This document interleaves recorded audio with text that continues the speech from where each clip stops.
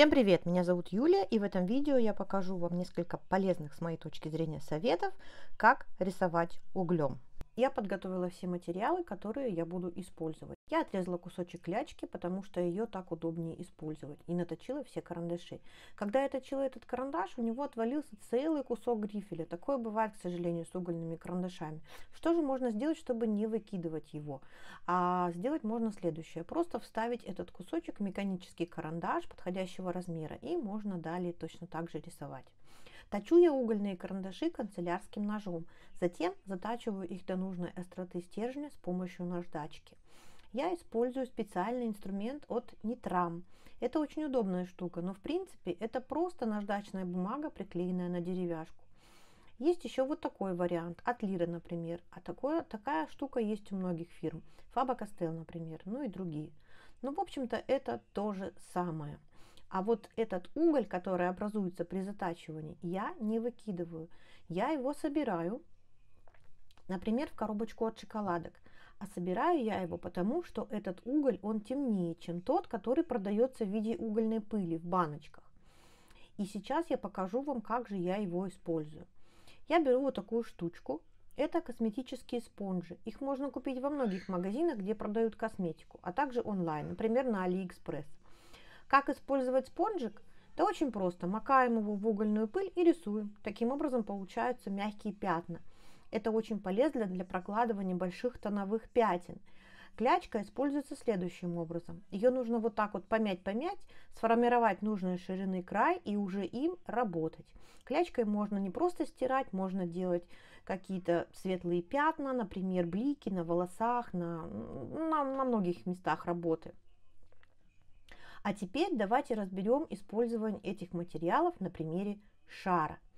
Мы рисуем круг карандашом ХБ, берем спонжик и прокладываем тень. Допустим, свет у нас падает вот отсюда. С помощью спонжика очень удобно прокладывать тень. Также можно вот попкой его растушевать края, а затем карандашом подровняем и углубим падающую тень. Давайте рассмотрим второй способ.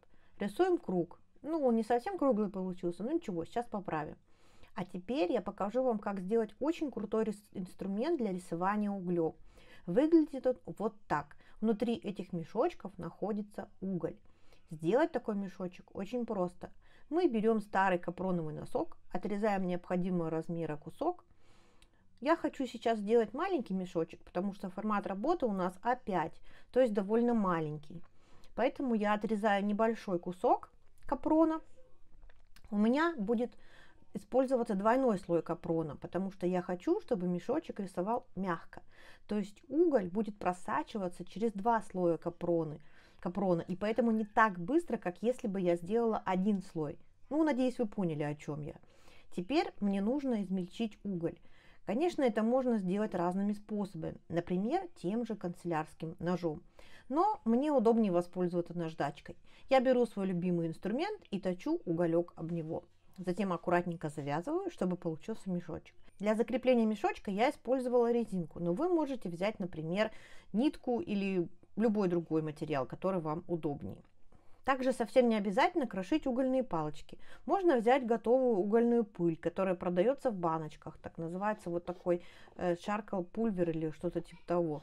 Можно использовать уголь от заточки карандашей, которые я собирала в самом начале видео. Вариантов масса. Выбирайте свой. Теперь нам нужно разработать наш мешочек. Мы рисуем им до тех пор, пока он не начинает довольно-таки хорошо оставлять след. Этим мешочком можно не только рисовать, но и, но и растушевывать уже нарисованные тени. А теперь применим наш мешочек на шарики. Им очень удобно работать, на мой взгляд, это гораздо удобнее, чем спонж. Ну, это на вкус цвет колбаса разная, вы сами определите для себя, что же вам удобнее. И вот, смотрите, уже получился шарик. Подровняем его клячкой.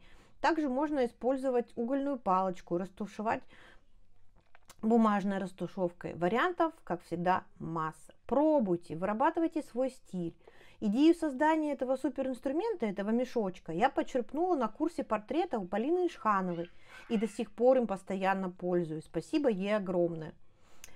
Но вернемся к нашему шарику. Теперь мы добавим свет. Сначала немножко вытерем клячкой, тем самым, а затем самым белым карандашом поставим блик, там, куда, собственно, падает свет. Затем берем более теплый и мягкий белый и смягчаем края блика. Таким образом получается вполне себе реалистичный шар. Добавляем еще падающую тень самым черным карандашом. И вот, пожалуйста, наш шарик готов. Таким образом мы разобрали светотеневое строение шара. Нам это очень пригодится в портрете, потому что глаз это, как известно, шар, ну а голова это яйцо по сути своей. Ну и так далее. Я тут не буду вам читать лекцию по анатомии, это вы можете посмотреть других видео, их очень много на ютубе, например. Давайте разберем остальные инструменты. Сейчас я покажу, как я использую твердый ластик в карандаше. Допустим, я нарисовала тень на щеке, и она получилась слишком жесткой. Тогда с помощью вот этого вот жесткого ластика можно смягчить эту тень, потому что сделать это пальцем или растушевкой не получится, останутся штрихи от карандаша. Берем жесткий ластик и проходимся по краю тени. При работе этим ластиком на бумаге образуются такие вот катушки из кусочков этого самого ластика. Вот они, видите? Вот с помощью этих кусочков и можно растушевать такую тень, потому что каждый маленький шарик от ластика работает как ластик – и таким образом переход тона станет более плавным. Ну а лишнее можно сдуть. Вот для смягчения таких жестких переходов я использую в основном жесткий ластик. Ну им, конечно, можно и просто стирать. Еще он очень полезен при растушевке фона. Допустим, мне нужно сделать растяжку тона вот отсюда и к краю свести на нет. Как сделать это плавно? А вот этим самым жестким ластиком. Я штрихую угольным карандашом и растушевываю, в данном случае пальцем. Я вообще очень часто работаю пальцем, мне так удобно. Видите, получается не очень-то ровный переход. Тогда я беру наш ластик и прохожусь им там, где остались штрихи, а затем чистым пальцем, не грязным, я растушевываю эти самые катышки. Потом снова карандашом и снова ластиком, и так до полного эстетического удовольствия. Руки в процессе работы я вытираю мокрыми салфетками.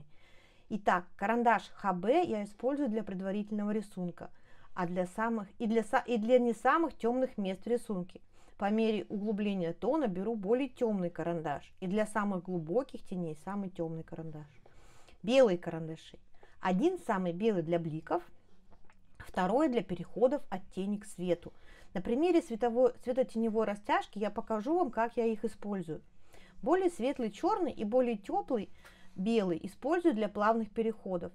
Зачем же нужен более мягкий белый? Сейчас я продемонстрирую это на примере. Если, допустим, я рисую вот этим карандашом. Да, я что-то тут нарисовала.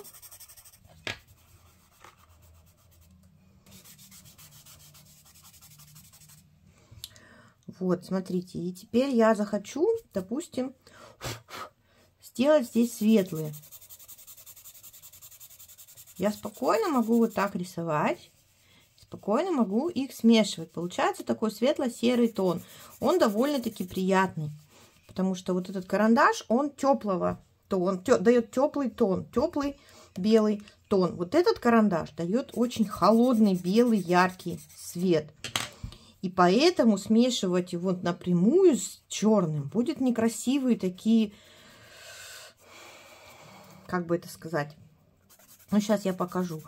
И с помощью вот этих, вот этого карандаша, вот этого более, более, который хорошо растушевывается, можно сделать такой плавный переход из темного, да, вот там у нас был Б, значит, берем здесь еще более темный, да, вот такой, да, сейчас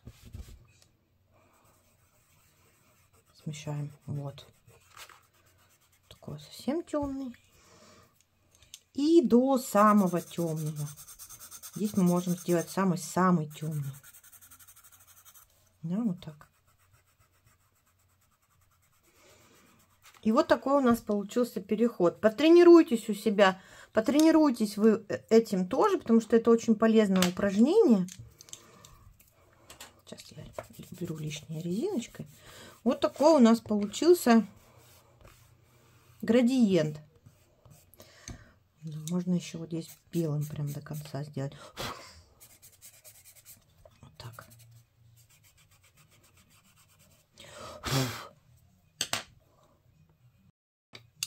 Вот как с помощью вот этих вот карандашей можно создать вот такой градиент. Ну, тут его можно дальше уже доводить до степени перфекционизма, уже это зависит от вас. Теперь я покажу, почему я использую именно вот этот карандаш. Смотрите, если я, допустим, сделаю Давайте немножко по, делаю вот такой. Угу. И прям вот здесь вот черным нарисую, белым нарисую. Это, если блик им ставить, то это нормально. Но если я начинаю растушевывать, посмотрите, какая противная получается цвет. Видите, такой, прям какой-то грязный такой получается цвет. Вот, и чтобы этого избежать, особенно вот с таким вот, получается некрасиво. Посмотрите, видите, какой он получается грязный и противный такой, такой прям, прям грязный такой цвет получается. А если я беру вот такой карандаш, смотрите, получается такой коричневатый оттенок. Видите? Ну, совсем не грязный. То есть, ну, он просто, это просто как бы восприятие на самом деле глаза.